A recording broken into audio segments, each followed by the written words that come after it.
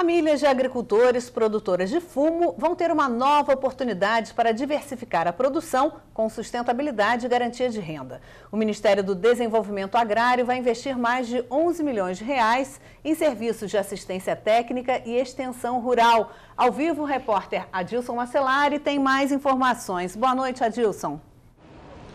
Boa noite, Lúcia. Essa iniciativa do Ministério do Desenvolvimento Agrário vai beneficiar 10 mil famílias de sete estados: Rio Grande do Sul, Santa Catarina, Paraná, Sergipe, Alagoas, Paraíba e Bahia. E para a gente saber como tudo isso vai funcionar, eu converso agora com o diretor do Departamento de Assistência Técnica e Extensão Rural, Argileu Martins da Silva. Bom, essas famílias vão receber assistência técnica para o plantio de outras culturas. Como é que isso vai ser feito?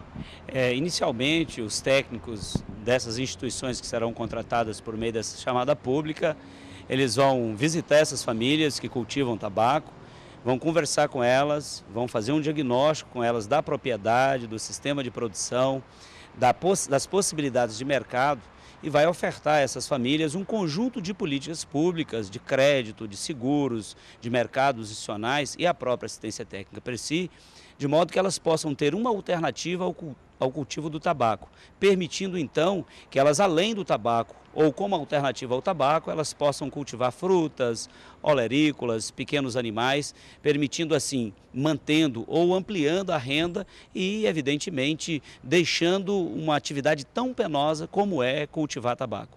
E isso porque existe uma tendência da produção do fumo aqui no Brasil começar a cair? Bom, no mundo, é, por conta do trabalho da Organização Mundial de Saúde, e o Brasil é um dos signatários do Tratado de Quadro, que permite ou que se trabalha para que o consumo do tabaco ele decresça. E isso vai acontecer em todo o mundo, inclusive no Brasil, a médio e longo prazo. O Brasil é o maior exportador de tabaco do mundo, é o terceiro maior produtor e o Ministério então está oferecendo essa alternativa àqueles agricultores que já pensando nisso, portanto, vai se deixar de consumir a produção, preço, consequentemente também vão cair. Então o Ministério oferece a essas famílias que assim desejar que comece a alternar ou diversificar a sua produção, dando a elas novas opções, dando a essas famílias novas opções e novas possibilidades de produção e consequentemente de renda. Além da pessoa que consome do fumante, o fumo também faz mal para esses produtores, né? A folha ela não é saudável para eles. É, o Ministério da Saúde é, divulga e sistematiza isso muito bem.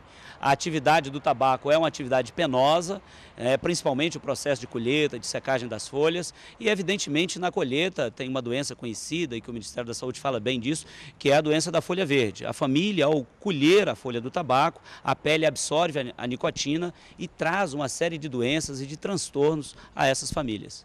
Muito obrigado pelas informações. Lembrando que as famílias interessadas em receber essa assistência técnica, elas vão ter essa assistência gratuitamente, não vão pagar nada.